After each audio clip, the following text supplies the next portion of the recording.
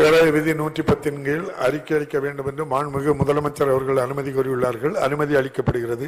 மாண்புமிகு முதலமைச்சர் அவர்கள். மாண்புமிகு பேரவைத் தலைவர் அவர்களே தங்களின் அனுமதியோடு நூற்றி பத்து விதியின் கீழ் ஒரு அறிக்கையை இந்த அவையில் எடுத்து வைக்க விரும்புகிறேன்.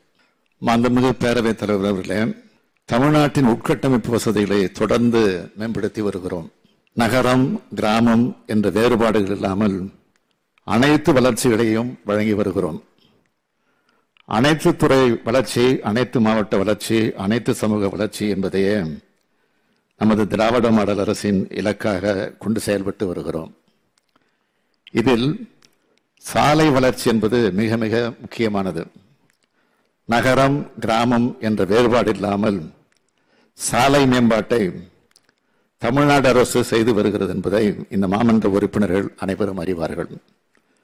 கிராம ஊராட்சி மற்றும் ஊராட்சி ஒன்றிய சாலைகள் கிராமப்புற மக்களின் பொருளாதார வளர்ச்சிக்கு வித்திட்டு வறுமையை ஒழிப்பதில் முக்கிய காரணியாக உள்ளன.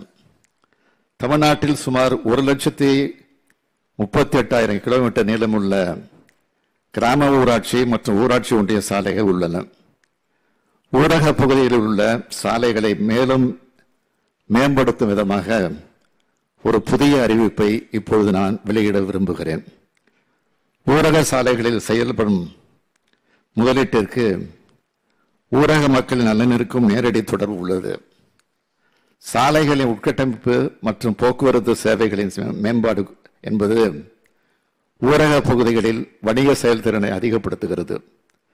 அதன் மூலம் இடுபொருள் செலவினை குறைத்து வேளாண் உற்பத்தியினை அதிகரித்து ஊரக வளர்ச்சிக்கும் வழிவகுக்கிறது.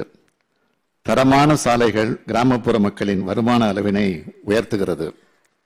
கல்வி சுகாதாரம் போன்ற சேவைகளை வழங்கி அறிவாற்றலை பரவலாக்கி சமூக பொருளாதார ஏற்றத்தாழ்வுகளை களைந்து வளர்ச்சியை துரிதப்படுத்தி வருகிறது உதவு உதவுகிறது. எனவேதான் பேருந்து செல்லக்கூடிய சாலைகள் குக்கிராமங்களை இணைக்கும் முக்கிய சாலைகள் பல்வேறு முக்கிய சேவைகளை கிராமங்களுடன் இணைக்கும் சாலைகள் போன்றவற்றை மேம்படுத்துவதற்கு நமது அரசு தொடர்ந்து முன்னுரிமை அளித்து வருகிறது.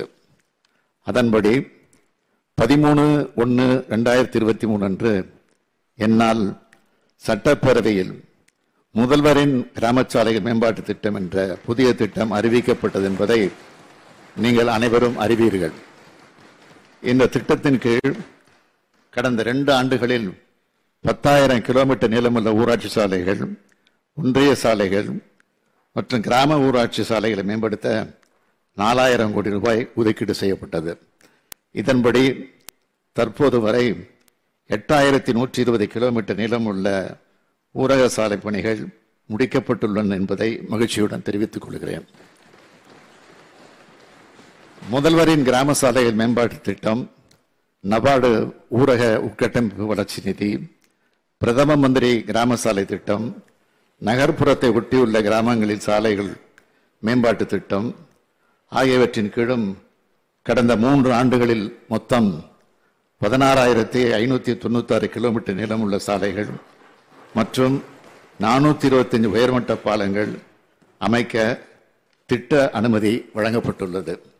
இதன் மொத்த மதிப்பு ஒன்பதாயிரத்தி முன்னூற்றி இருபத்தி நாலு கோடியே நாற்பத்தொன்பது லட்சம் ரூபாய்.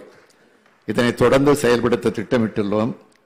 வருகின்ற ரெண்டு ஆண்டுகளில் முதல்வரின் கிராம சாலை மேம்பாட்டு திட்டத்தின் மூலம் கூடுதலாக மேலும் பத்தாயிரம் கிலோமீட்டர் நீளமுள்ள ஊரக சாலைகள் நாலாயிரம் கோடி ரூபாய் மதிப்பீட்டில் மேம்படுத்தப்படும் என்பதை இம்மன்றத்துக்கு மகிழ்ச்சியோடு தெரிவித்து அமைகிறேன்.